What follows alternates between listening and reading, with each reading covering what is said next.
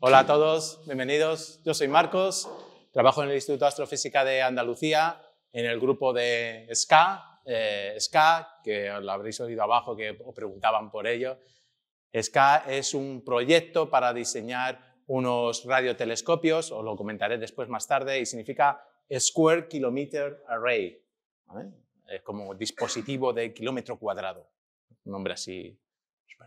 Bueno, yo quiero preguntar una cosa, porque abajo cuando ha preguntado Sara si os habíais sentido como estrellas, muy poquitos de vosotros habíais dado un, paso hacia adelante. Eh, ¿No sentís como estrellas, de verdad? Algunos sí. ¿Eh? No esperaba menos, no esperaba menos. Eh, vamos a ver si lo cambio un poquito, un poquito eso. ¿Vosotros habéis ido alguna vez al campo a, a ver las estrellas? ¿Habéis estado bajo un cielo estrellado? Sí, ¿no? Habréis notado que hay estrellas que brillan más que otras. Hay unas poquitas estrellas muy brillantes y muchísimas más más tenues. Las brillantes podrían ser, pues, como nuestra Rafaela Carrà, nuestra Nadia Comaneci o nuestra Marie Curie, ¿no? Estrellas muy brillantes en sus campos que de verdad eh, brillan y que han destacado. Y el resto, pues quizás podríamos ser nosotros, ¿no? Eh, simples mortales que brillamos poco, pero a lo mejor somos más luminosos de lo que creemos. Efectivamente.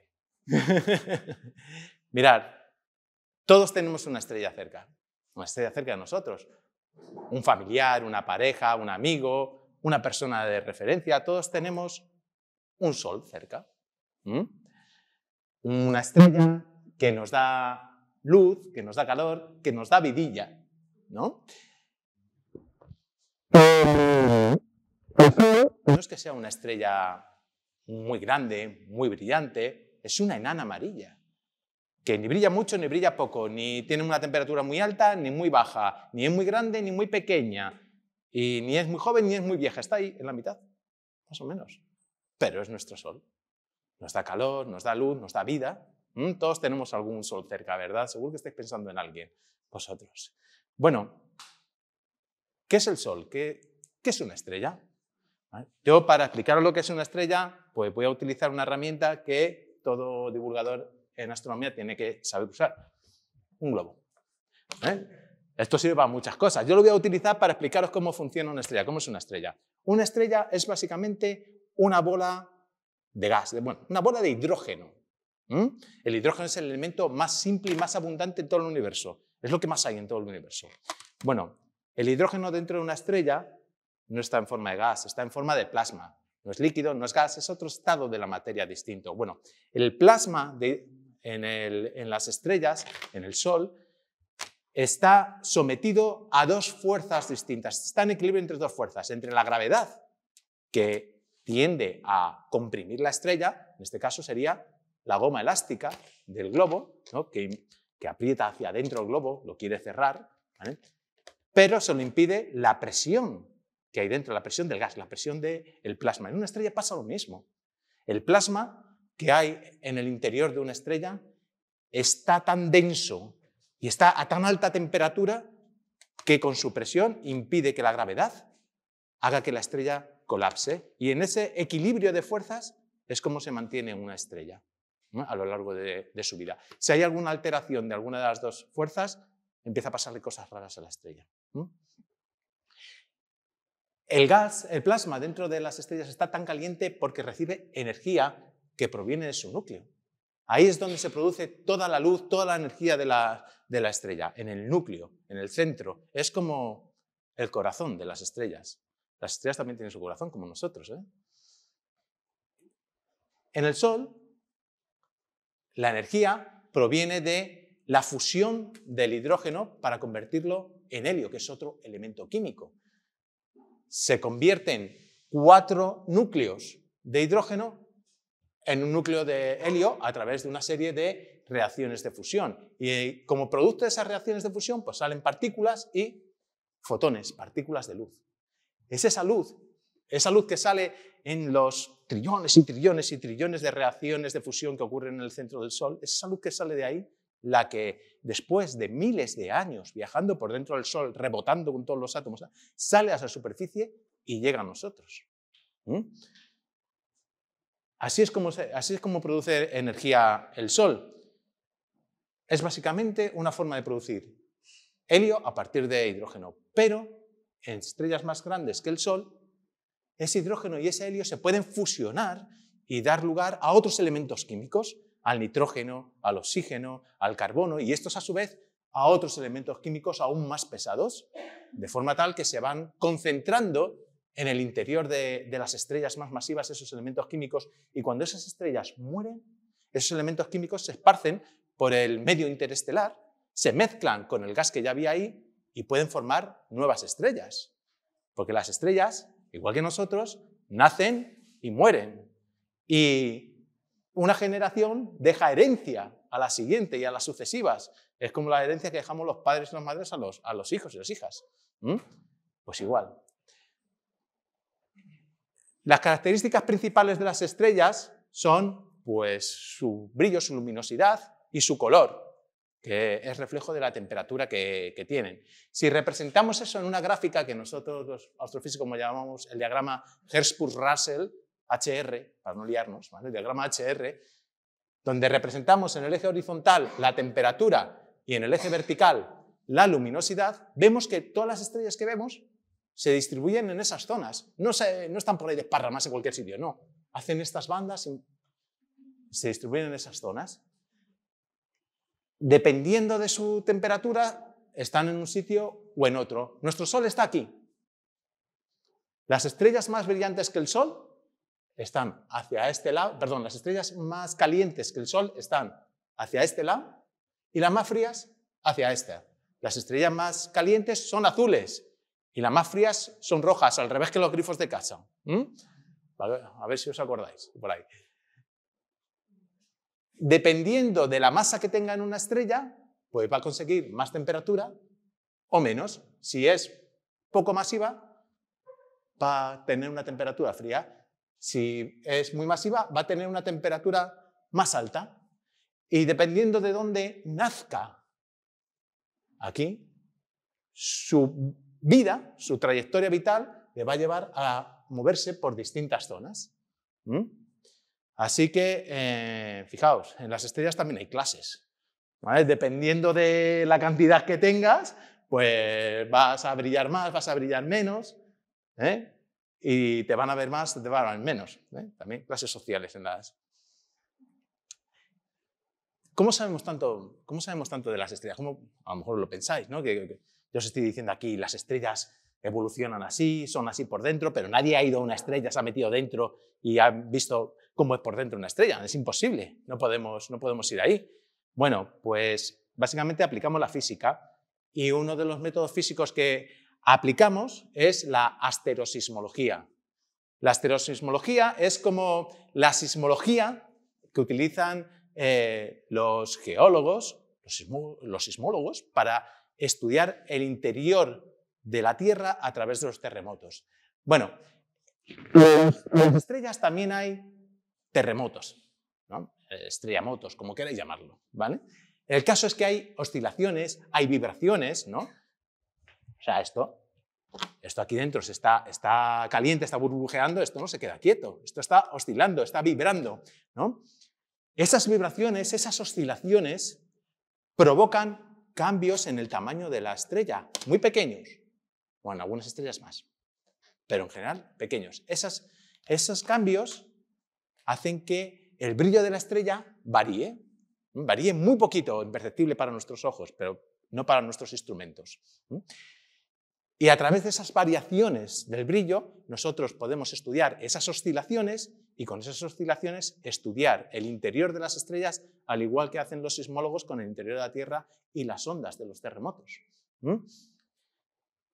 Una misión espacial que se está desarrollando eh, y en la que participa España y en la que hay participación del Instituto de Astrofísica de Andalucía y de la Universidad de Granada, es la misión Plato de la ESA que se va a encargar, entre otras cosas, de estudiar eh, estrellas, más de 200, unas 200.000 estrellas, para ver estos oh, cambios de brillo, eh, poder sacar las características de la estrella y también si esas estrellas tuvieran algún planeta a su alrededor, sabiendo las características de la estrella, podríamos caracterizar mejor cómo es ese, cómo es ese planeta. ¿Mm? Bueno, pues todo eso simplemente observando, viendo, viendo la luz. Pero las estrellas que va a estudiar Plato son estrellas de nuestra galaxia, de estrellas aquí cerquita, contemporáneas del Sol, que están viviendo pues a la vez que está, que está el Sol vivo. Pero hubo otras estrellas eh, anteriores, ¿no? Al igual que nosotros, las estrellas tienen antepasados. Y la primera generación de estrellas que se generó tras el Big Bang eran estrellas monstruosas, estrellas de más de 100 veces la masa del Sol. Y esas estrellas generaban tanta energía que consiguieron arrancar los electrones de todo el hidrógeno que había alrededor de donde estaban, de sus galaxias, y, lo que, ionizarlo. Es, ese es el, nombre que le damos a ese proceso, ¿no? de arrancar los electrones de un, de un átomo. Eso se conoce, es una etapa de la historia del universo que conocemos como la época de la reionización. ¿eh? Y esa época de la reionización es uno de los objetivos fundamentales que va, uno de, de los telescopios del el Observatorio del SCA, que va a tener dos, eh, dos telescopios, uno en, Austral, uno en Sudáfrica y otro en Australia, y es un proyecto internacional que participan más de 20 países, entre ellos España, y la coordinación de la participación española se lleva desde el Instituto de Astrofísica de, Andalucía. Bueno, pues con estos radiotelescopios vamos a poder observar esa luz de la época de la reionización que ahora se tiene que observar en ondas de, de radio y poder averiguar cómo eran esas primeras estrellas, esa primera generación de estrellas. Es como hacer eh, arqueología de, las estrellas. Yo ahora, para, terminar, os quisiera proponer un juego. ¿vale? Yo, voy a plantear unas preguntas y el que se sienta identificado con esa pregunta, que levante la mano. Se puede repetir en cada pregunta, ¿vale? No, no os cortéis. Y bueno, la primera pregunta sería, ¿quién se siente joven?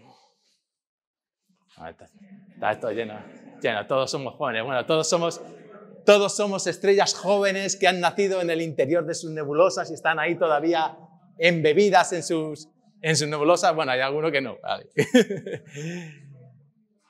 Bueno, pues fijaros, también hay estrellas, hay estrellas jóvenes como vosotros. ¿eh?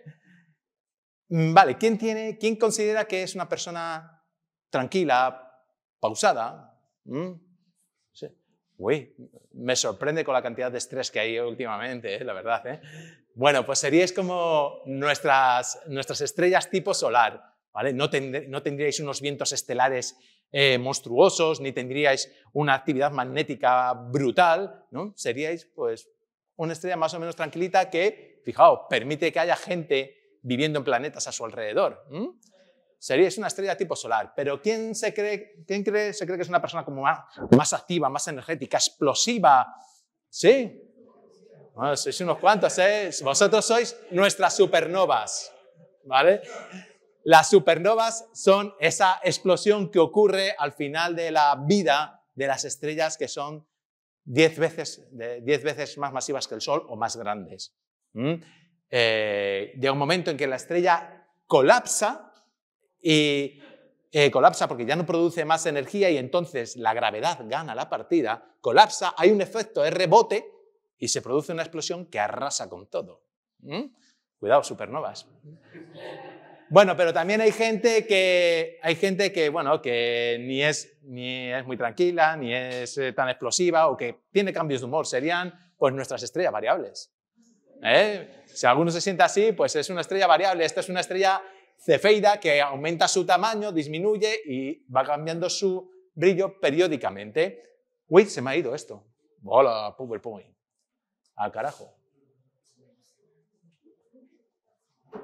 Bueno, sigo con las, sigo con las preguntillas. A ver.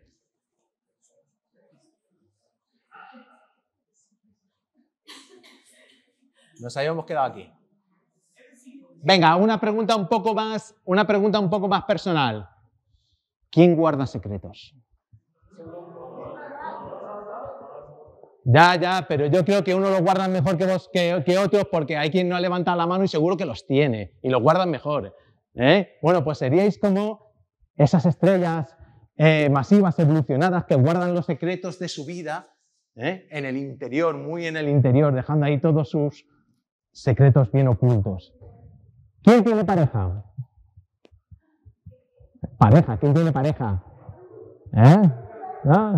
Bueno, la, mayoría, la mayoría de las estrellas de nuestra galaxia y por extensión de otras forman, forman parejas, están en sistemas binarios, sistemas triples o, múltiples, aunque eso sería más bien una relación abierta, ¿no? Pero bueno. Bueno, perdóname la fricada, pero no puedo dejar de poner algo de, Star Wars. A ver, ¿quién vive, quién vive en un pueblo? Uno. A ver, eso, eso lo digo, claro, es que en un pueblo no vive mucha gente, ¿no? Hay estrellas que también viven en pueblos. En pueblos que, esto es un cúmulo globular, hay pueblos más pequeños, unos más grandes, otros más pequeños. Pero, ¿quién vive en una ciudad? Ah, no, es el resto. Claro, la mayoría de la gente vive en ciudades, en galaxias. ¿vale? Las estrellas viven, sobre todo, la mayoría de las estrellas viven en galaxias. Las galaxias pueden tener del orden de cientos de miles de millones de estrellas. Así que, normal que solo hayas levantado tú la mano, el resto es mayoría, claro. Bueno, con estas, con estas preguntitas, bueno, pues espero, por un lado, no haberos quemado mucho, ¿vale? Estrellas. Y, por otro lado, eh, espero que si alguna vez salís a ver las estrellas al campo, ¿no? lo hagáis con otros ojos, porque hay gente que, que dice, uy, cuánto universo hay, qué pequeño me siento. No, no te sientas pequeño, siéntate parte del cosmos, ¿vale? Porque hay muchísimas estrellas, tanto en el cielo como en la tierra. Bueno, muchas gracias.